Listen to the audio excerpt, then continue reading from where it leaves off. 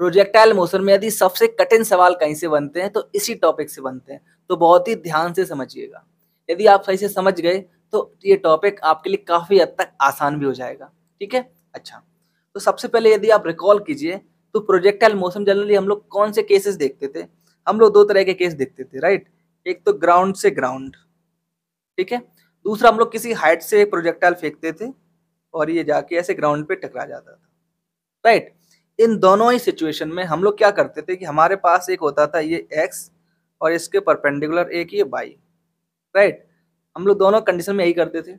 और फिर हमारे पास जो एक्सलेशन था वेलोसिटी थी, हम उनको इन दोनों एक्सेस के अलोंग कंपोनेंट फॉर्म में ले लेते थे राइट यानी आपके पास होता था एक जैसे U X U Y right और या फिर A X A Y right now यदि आपको याद हो तो यहाँ पर ए एक्स की वैल्यू होती थी ज़ीरो क्योंकि हॉरिजॉन्टल डायरेक्शन में कोई भी एक्शन का कंपोनेंट था ही नहीं है जी की वैल्यू जो थी, सारी की सारी इस बाई वाले डायरेक्शन में थी।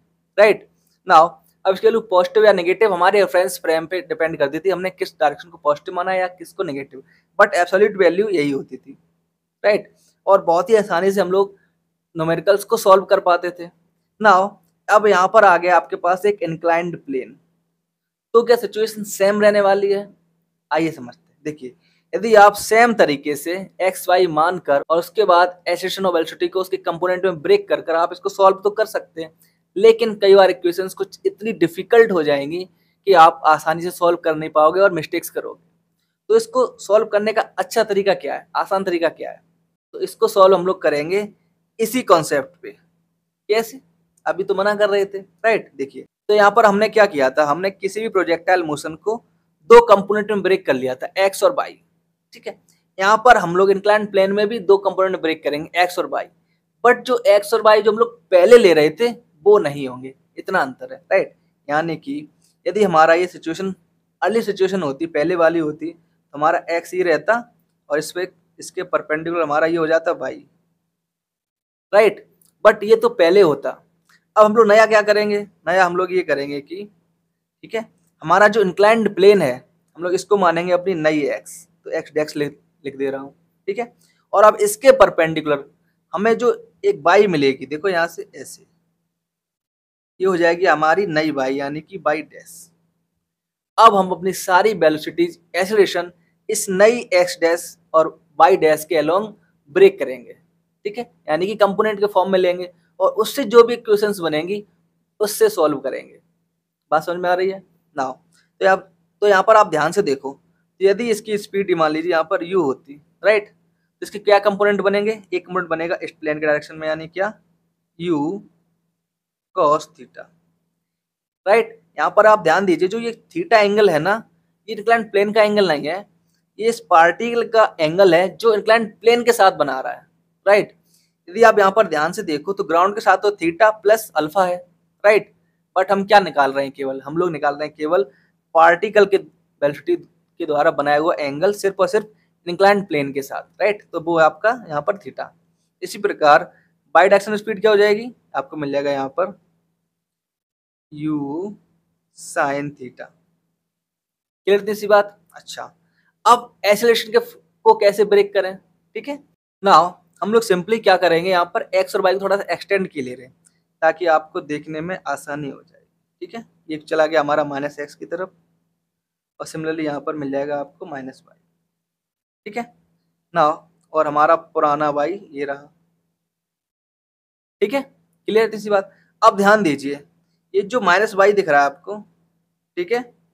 और ये दिख रहा है ये minus X dash now alpha angle कहाँ होगा? इसको निकालने के लिए हम लोग थोड़ा सा नंबरिंग करते हैं, ठीक है? ये हमने लिख दिया एंगल वन ये एंगल टू और ये एंगल थ्री ठीक है? ध्यान दीजिए एक्स डैश और वाई डैश परपेंडिकुलर है और पुराने एक्स और पुराने वाई परपेंडिकुलर है राइट तो देखो वाइट वाइट परपेंडिकुलर यानी कि एंगल टू और एंगल थ्री मिलके बनाएँगे नाइनटी राइट और एंगल टू और एंगल वन मिलके बना रहे नाइनटी इसका मतलब क्या हो गया? देखो एंगल टू की वैल्यू क्या हो जाएगी? एंगल टू की वैल्यू मिलेगी आपको five by two minus alpha और एंगल थ्री की वैल्यू क्या मिल जाएगी? अल्फ़ा। राइट नाउ अच्छा अब माइनस बाई के डायरेक्शन में था आपकी वैल्यू थी जी तो माइनस वाई डैश किधर हो जाएगी? इस ये रही वैल्यू। तो यहाँ पर क्या मिलेगी? सीधी सी बात है G cos alpha. Right G का इस कम, इधर कंपोनेंट अब जी का ये माइनस एक्स डायरेक्शन में कंपोनेंट क्या हो जाएगा? G sine alpha. यहाँ पर ध्यान दीजिए ये जो अल्फ़ा है ना, ये एंगल किसका है? इंक्लाइंड प्लेन का राइट और उसी के अकॉर्डिंग आपको यहाँ पर एस की वैल्यू मिल रही है।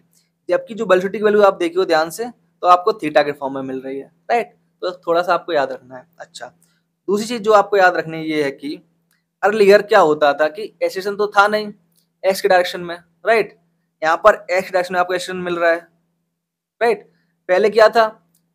बाई के डायरेक्शन में जो एसेशन ड्यू टू ग्रेविटी था, वो था जी यहाँ पर उसकी वैल्यू बदल गई और हो गई जी कॉस अल्फ़ा ये थोड़े से चेंजेस हैं। ना साथ ही आपको एक चीज़ याद रखनी है क्या? कि पहले जब हम लोग जो हमारी जो कंडीशन थी ना, इस तरह वाली कंडीशन ठीक है? या इस तरफ़ की कंडीशन इसमें ये जो कंपोनेंट है ना यू एक्स ये पूरे के पूरे मोशन में सेम रहता था राइट क्योंकि इस पर कोई भी फोर्स नहीं लग रहा था। या बोले कि जो फोर्स लगता था वो परपेंडिकुलर डायरेक्शन में था, इस वजह से ये जो यू एक्स है वो अनचेंज रहता था। बट यहाँ पर देखो, नए कंडीशन में क्या है कि यहाँ पर देखो एक्स के डायरेक्शन में एक एक्सलेशन है जी साइन अल्फ़ा राइट तो इसकी वजह से वेलोसिटी या तो बढ़ेगी या घटेगी।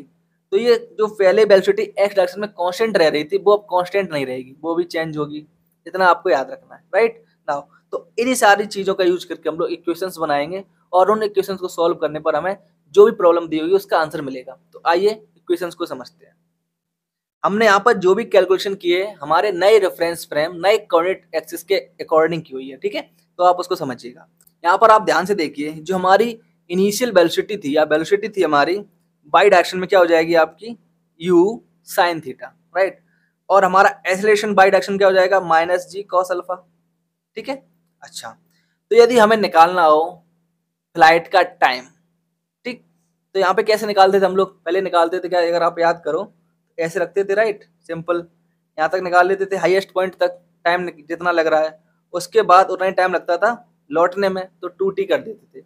सेम तरीका हम लोग यहाँ पर अपनाने वाले हैं, ठीक है? तो देखिए क्या होगा कि जो एक मैक्सिमम हाइट जो भी अचीव करेगा इस नई बाइक डायरेक्शन में, ठीक है?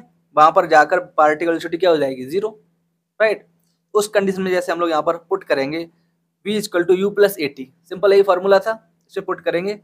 वी वाई बराबर ज़ीरो और यू वाई बराबर आपको यू साइन थीटा एक की value minus G cos theta sorry A की value minus G cos alpha time की जगह टी तो आपको यहाँ पे क्या मिलेगा? Time equal to U sine theta upon G cos alpha ठीक है?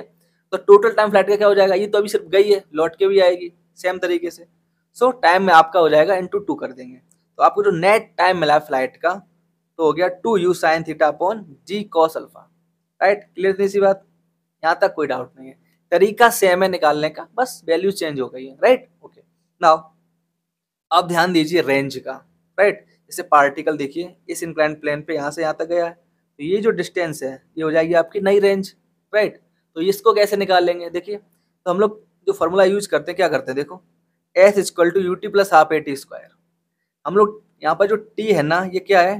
टोटल टाइम ऑफ़ फ़्लाइट हम लोग ऑलरेडी कैलकुलेट कर चुके हैं राइट तो हमारी अब रेंज क्या हो जाएगी, देखो, इस डायरेक्शन में जो स्पीड थी, यानी यू एक्स यू एक्स क्या थी आपकी? यू कॉस थीटा राइट यहाँ पे देखो लिखी हुई है।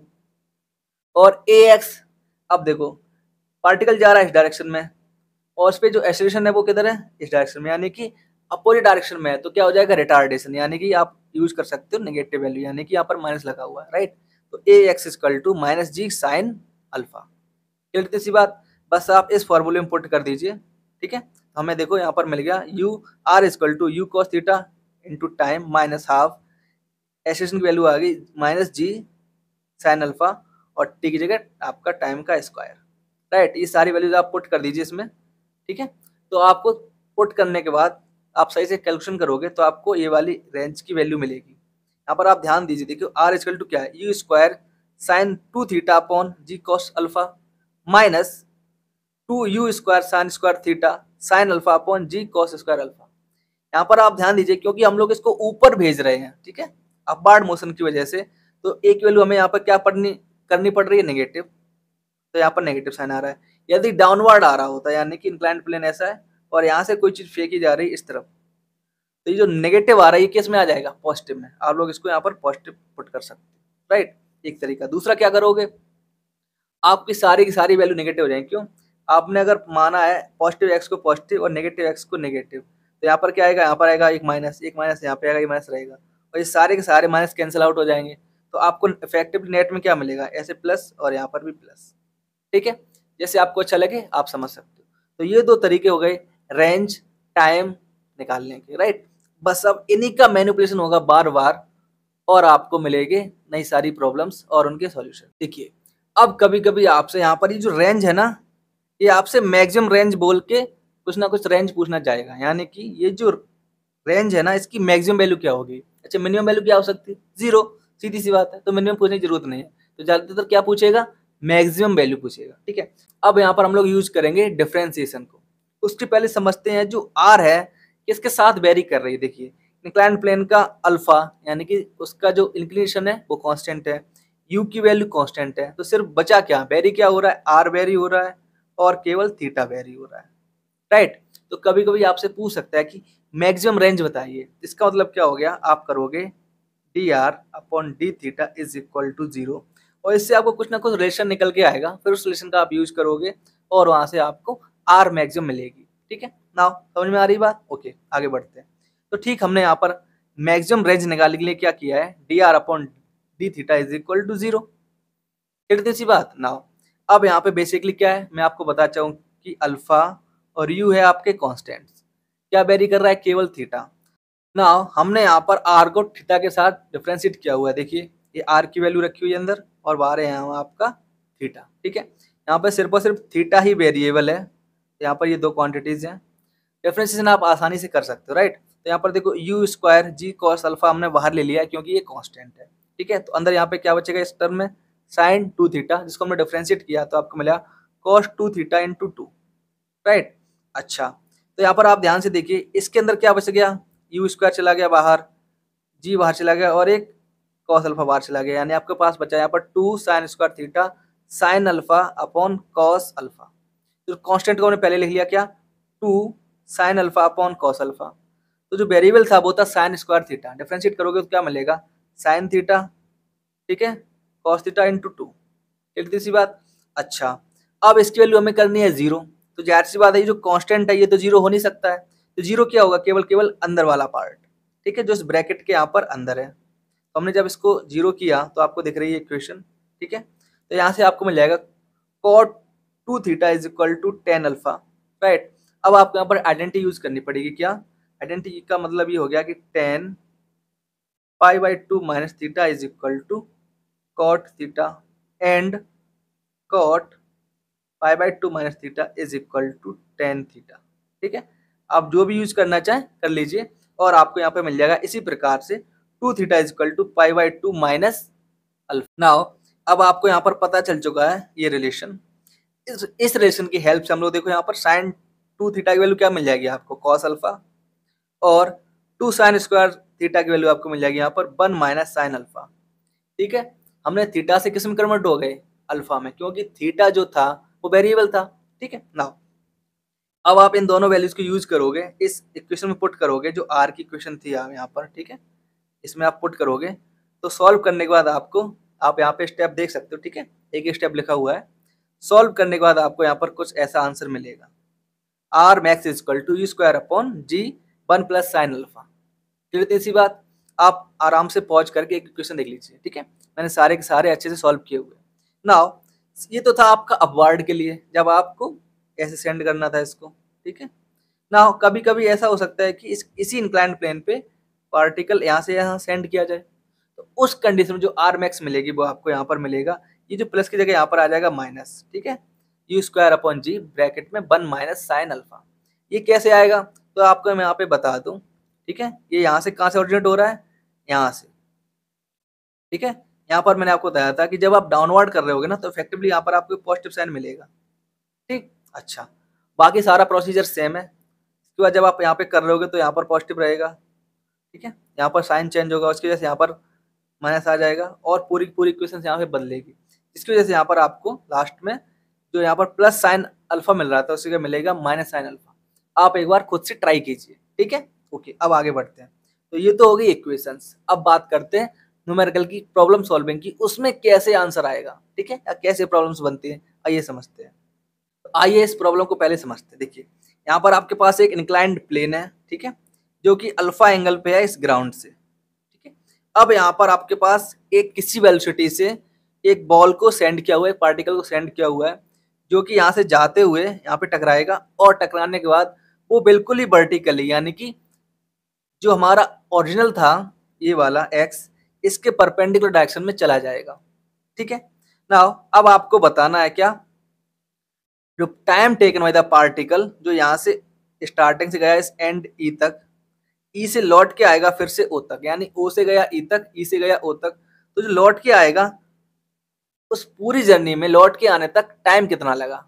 क्लियर इतनी सी बात? अच्छा। ओके। अब यहाँ पर ध्यान से दीजिए इसको सॉल्व कैसे करें? तो एक तो हम लोग अभी टेक्निक समझ के आए हैं कि क्या? इसको नई एक्स मानो और इसके परपेंडिकुलर एक नया पाई मानो।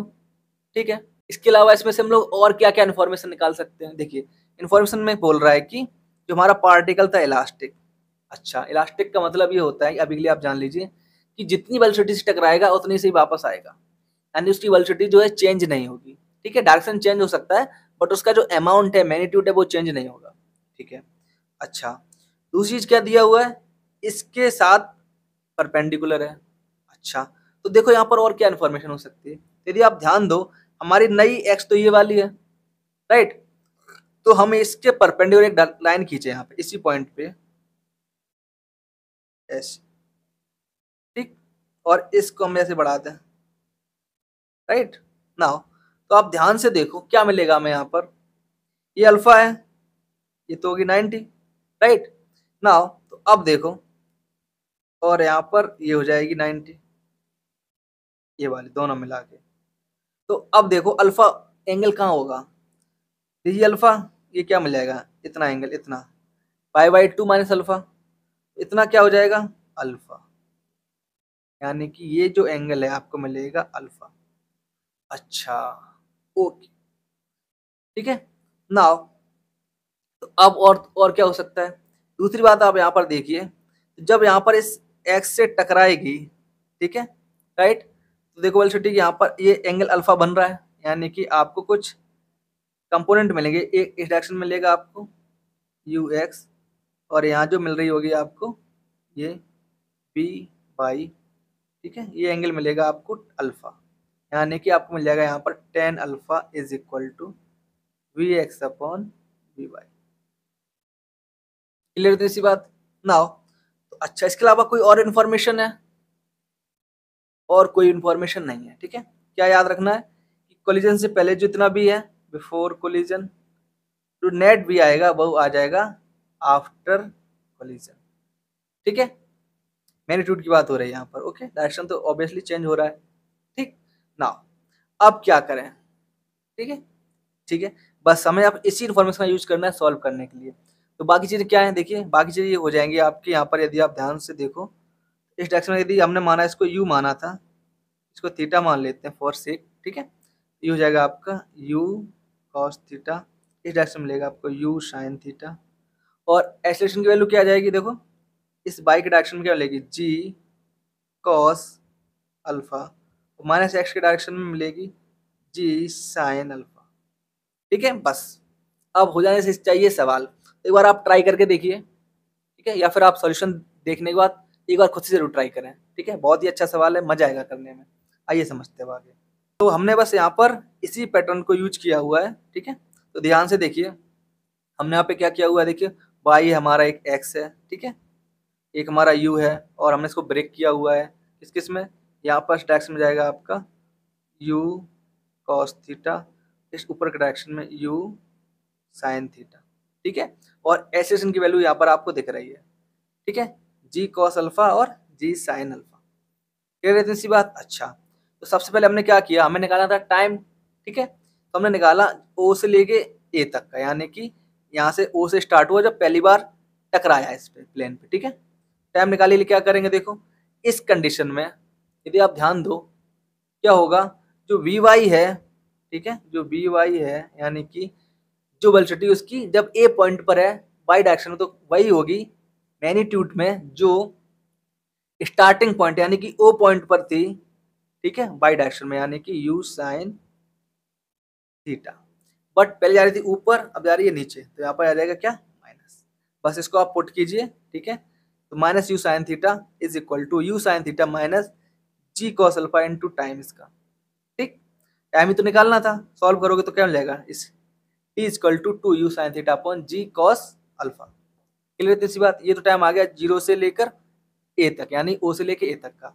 अब ए से ऊपर को जा रही बी पॉइंट तक राइट ठीक है? निकालेंगे इस, इसके लिए पहले हम निकालनी पड़ी कि वेलोसिटी क्लियर तीसरी बात? ओके अब देखो ध्यान से। वेलोसिटीज जो मैं आपको ऑलरेडी बता चाहूँ क्या, कि just hitting the ground equal होगी बात के लिए। तो पहले निकालते हैं जस्ट हिटिंग ग्राउंड जो इंक्लाइन प्लेन है, तब कितनी हो रही होगी। तो देखो यहाँ पर, इसकी मैग्नीट्यूड तो ही रहा। यू साइन थीटा मैग्नीट्यूड में राइट साइन के साथ लगाओगे तो यहाँ पे मिल जाएगा माइनस में। ओके और यू एक्स क्या हो गया? अब जो एक्स के डायरेक्शन जो वेलोसिटी थी, वो हो जाएगी आपकी बी एक्स मैंने माना हुआ है। स्टार्टिंग थी आपकी यू एक्स और ऐसे था ए इंटू टी ए की वैल्यू क्या आ जाएगी? Minus g sine alpha right आप इन सबको रिपोर्ट करो। तो देखो u cos theta minus g sine alpha और टाइम जो अभी हमने निकाला था two u sine theta upon g cos alpha अब आप इसको सॉल्व करोगे सॉल्व करोगे तो आपको यहाँ पर ये क्वेश्चन ही सेकंड मिल जाएगी, ठीक है? फिर तीसरी बात ओके नाउ हम लोग पहले ही समझ चुके क्या? V x upon v y बराबर था आपका टेन अल्फ़ा ठीक है? तो यहाँ से हमने एक रिलेशन निकाला। किसके इसके देखो यदि आप जब ऐसे पुट करके देख रहे हो तो आपको यहाँ पर एक रिलेशन मिल रहा है क्या? One is equal to three tan theta tan alpha ये रिलेशन आगे बहुत ज़्यादा यूजफुल होने वाला है। ठीक है? ओके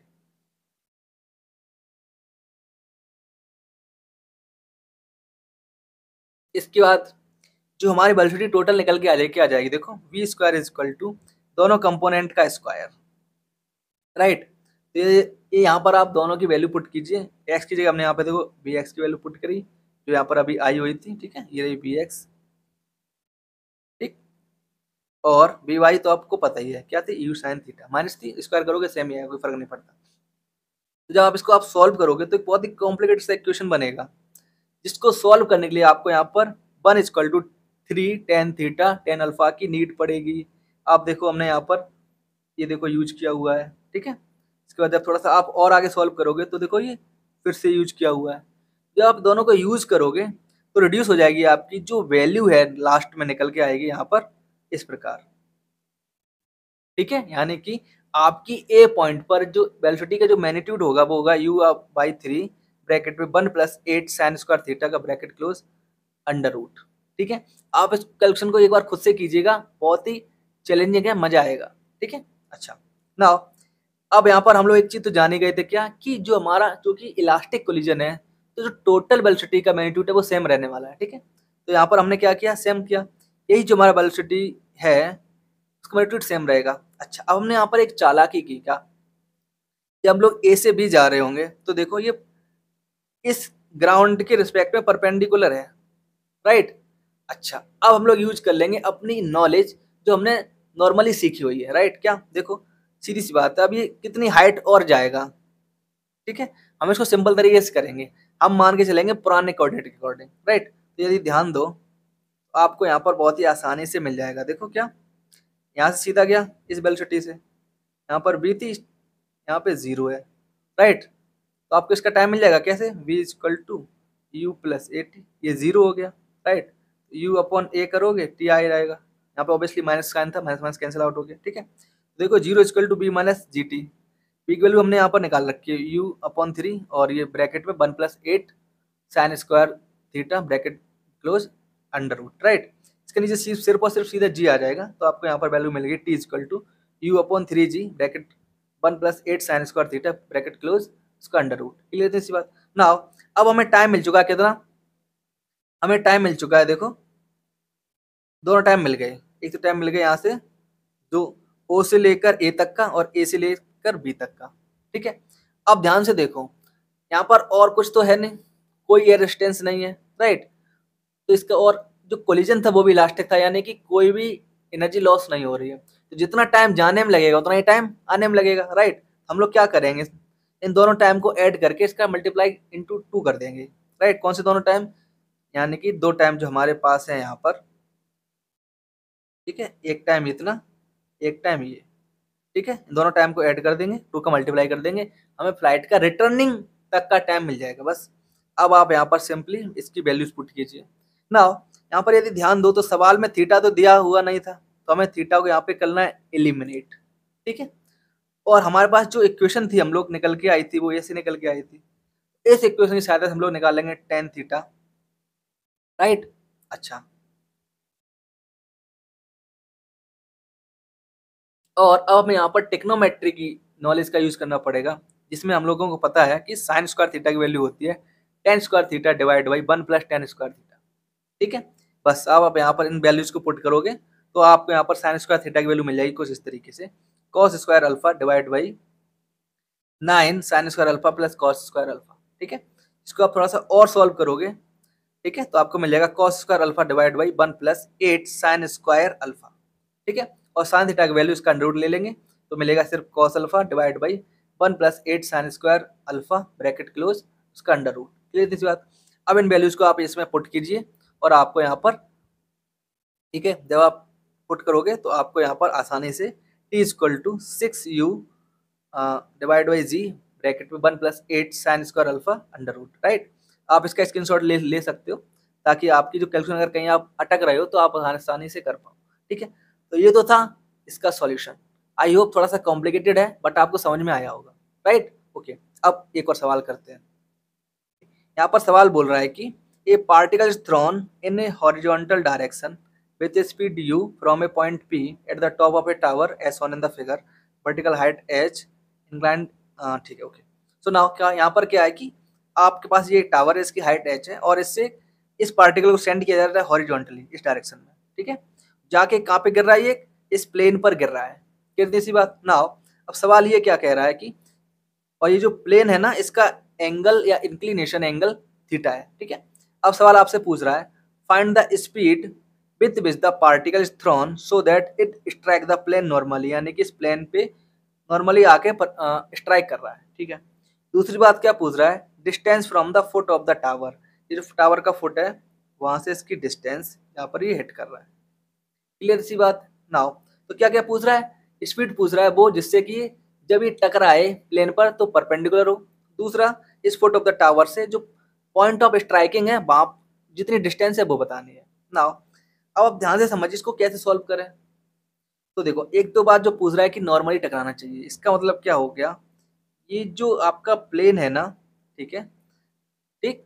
तो जो वेलोसिटी का जो कंपोनेंट होगा ना, वो केवल और केवल परपेंडिकुलर होगा ऐसे। ठीक है? ये वाला कंपोनेंट आपको नहीं मिलेगा साइड वाला। ठीक है? क्या मिलेगा केवल? परपेंडिकुलर कंपोनेंट इस तरह से। एक बात। दूसरी बात क्या है? ठीक दूसरी बात देखिए, यहाँ पर इसको हॉरिजॉन्टली किसके साथ? जो एक्चुअली अर्थ है, उसके साथ हॉरिजॉन्टली सेंड किया हुआ है। इस प्लेन के साथ नहीं। ठीक है? ना तो हमें क्या करना होगा? हम लोग सिंपली जो हम लोग टेक्निक सीख चुके हैं, नई एक्स वाई बनाएँगे, उसके अकॉर्डिंग सॉल्व करेंगे। तो यहाँ पर देखो कुछ स्ट्रक्चर कुछ कैसा दिखेगा? ये हो गई आपकी एच टावर की हाइट ये हो गया आपका प्लेन का, ठीक है? थीटा अब आपने इसकी पहले आप बनाओगे, एक नया एक्स वाई ठीक है, ये वाई आपका एक्स ठीक है? इस बाई को थोड़ा सा मैं एक्सटेंड कर रहा हूँ। तो देखो यहाँ पर क्या होगा? ये यहाँ पर आएगा परपेंडिकुलर क्यों? क्योंकि ये लाइन और ये लाइन दोनों हैं पैरेलल ठीक है? नाउ और ये रहा आपका हॉरिजॉन्टल डायरेक्शन में यू ये एंगल हो गया थीटा मान लेते हैं, ठीक है? अगर ये थीटा है, ये भी थीटा है, ठीक है? तो ये वाला एंगल क्या निकल के आएगा? ये एंगल भी मिलेगा आपको थीटा क्लियर है? आप इली फाइंड आउट कर सकते हो। कैसे देखो? ये एंगल और ये एंगल 90 और फिर ये एंगल और ये 90 तो अब सीधी सी बात है। दोनों में कॉमन है 90 90 है तो ये थीटा और ये थीटा जो आपको दिख रहा है आसानी से। नाउ यहाँ तक क्लियर है। ठीक है? अब क्या करना है देखो, सीधी सी बात है, एक यू को एक्सट्रैक्शन में करेंगे तो यू कॉस थीटा और माइनस बाई में जाएगा तो आपको मिलेगा यहाँ पर बाई की जगह minus u sine theta clear इतनी सी बात? दूसरी चीज़ क्या है? एक्सटेंशन आप ऑलरेडी जानते हो, क्या होगा? तीसरी बात है ए की वैल्यू क्या मिलती है आपको यहाँ पर? ये जी है तो यहाँ पर मिलेगा g cos theta g sine theta clear सी बात, क्योंकि जो प्लेन का एंगल है वो थीटा है। ठीक ना बस, इतना करने से आपको सॉल्व करना है। साथ ही एक चीज़ याद रखनी है क्या? ये जो डी पूछी गई है, ये कैसे मिलेगी आपको? देखो ध्यान से। देखो, ये डी इस दो पार्ट का होगा। एक ये डिस्टेंस और एक यहाँ से जहाँ पर टकरा रहा होगा। ठीक है? तो यानी कि अगर मैं इसको रेंज मान लूँ नए फ्रेम के अकॉर्डिंग और ये आपकी डिस्टेंस कितनी हो जाएगी? इस अगर ये एच है तो हो जाएगी आपकी एच साइन थीटा यानी कि आपको जो डी मिलेगी डी इजकल टू मिलेगी h sine theta plus r ठीक है? तो ये तो हो गया पूरा कॉन्सेप्ट यदि आप चाहो तो यहाँ से खुद से सॉल्व करो। नहीं तो मैं आपको आगे एक्सप्लेन कर रहा हूँ। वहाँ से आप समझ सकते हो। ठीक है? ना तो देखिए, हमने यहाँ पर सवाल को बिल्कुल ठीक ऐसे ही सॉल्व कर रखा है। ठीक है? तो हमारी यू कॉस थीटा आपको दिख रही है।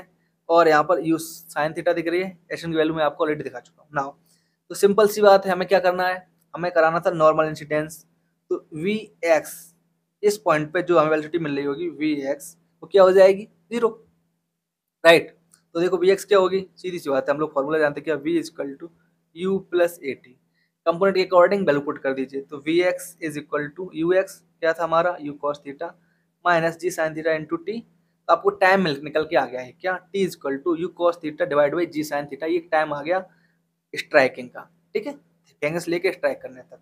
ना हमें निकालना है स्पीड बट हमें से जो और इन्फॉर्मेशन है, वो केवल इतना है कि ये हाइट एच है।